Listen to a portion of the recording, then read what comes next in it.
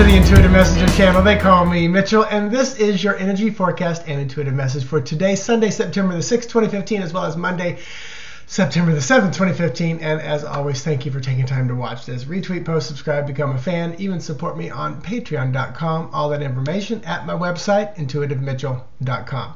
So, the message today, I like it. I like it. So, it's gardening references. So, let's get to the root of your problems, your issues, or your challenges. You know, it gets real tiresome when all you keep doing is trimming off the top, trimming the superficial stuff because the root is still there. And I was in my quiet meditation just before, and you know, and I thought, how do I how do I deliver this? What you know, how does this apply to everyday kind of a thing? You know, and I thought, you know, why doesn't anyone love me? You know, why you know, love relationship. You know, so you ask yourself, you know, you know why why do you think you have difficulty finding someone you know because no one wants to no one likes me. Why do you think they don't like you? Because they don't want to stick around. You know why is that? Because you're hard to manage. Well why just continue to ask the questions. You know what supports the next the next answer?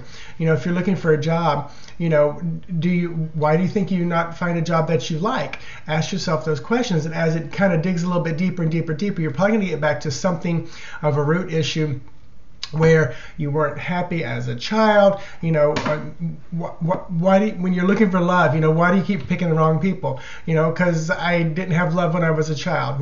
Why not? Because mom and dad were too busy. Why were they too busy? Because they were trying to support us. Why were they trying to support you to give you everything you need? You know what did you think they were doing that for because they loved us. So dig down, and, and, you're still misconstruing maybe what you felt as a child. But ultimately, you can just dig a little deeper with questions, with quiet meditation, with guidance from those on the other side, your guides, your angels, to help you find out what the root is and pluck the root out. Get rid of the root, otherwise, it just keeps growing. So, there you go. Let's look at some cards and some energy of the numbers in the day and see what's going on for today and tomorrow. So today is the sixth day of September, and Lenormand is going to be house. I love it because we got offers on our house too, which is good. And then we know what house we want to move into, so we just got to start the ball rolling. So this is about your house, your home, um, you know, the place you call home. And then tarot to go along with it is the Knight of Wands. So Knight of Wands is often about younger person, fire sign, you know, that Sagittarius, Leo or Aries sign. They're usually young, impetuous, quick moving, fast, you know, you know, sparky in the mind. And you know, I would look at this and say, okay, it's the younger, younger people that are, want to buy the house, and that's kind of what we chose. But for you, look for the younger person, probably male, in and around your home that's coming in. You know, with the energy of the day, six, six is that balance, nurturing. It is the family focus. It is the marriage and divorce responsibility and duty, domestic and work issues. So look for the for the children in your home and again, like I said, male.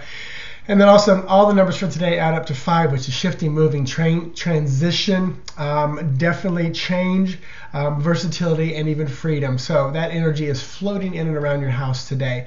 And I think you just, I think Spirit is telling me just allow that energy to move and shift. Don't try to control it today. Lenormand for tomorrow, the seventh day, Monday, Labor Day here in the U.S. Hello, mice. Once again, our mice are showing up. So tomorrow, this can be about nibbling away, behind the scene deterioration, you know, tiny little bites, you know, to finally deteriorate big holes and things. And Tarot to go along with it is going to be Ace of Wands. So I love that we had the Knight of Wands for today, meaning yesterday, and then tomorrow is the Ace of Wands. So we go from that Knight energy in and around the home to what's deteriorating things. Look for that spark. Look for where you can start making some changes and tomorrow's energy is seven. Seven is analytical, research, science, solitude, spiritual focus, mystical, metaphysical. So there's definitely a spiritual aspect with that ace of wands because wands are spiritual creative fire sign and then tomorrow's number is six so we're back to number six from yesterday all the numbers add up to six you know, this is the balance, nurturing domestic and work focus, family focus, duty, responsibilities with this mice and this ace of swords. Look where there might be a spark or the start of something that is going to be deteriorating and nip it in the butt, get to the root of the problem. So back to the root of the problem could be in and around the home. Back to the root of the problem could be what's hidden and not seen behind the scene, which is where roots usually are, deep in the earth where you can't see them. So there's your message. Thank you to those of you who showed up yesterday for in-person readings at um, in College Park at the New Vision Spiritualist Church. I had an amazing time. 12 sessions yesterday. It was good. Good day. So check out my website. Um, Facebook page has more events. I've got October 17th, 24th, December 5th, and February 5th and 6th of next year. Those are all times when I'm doing in-person readings in the Central Florida area. And um, my special is still up. But I'll be honest with you, I am pretty booked before the holidays. But you can purchase that special, and we can get it done at any time. So now Namaste. Talk to you tomorrow. Bye bye.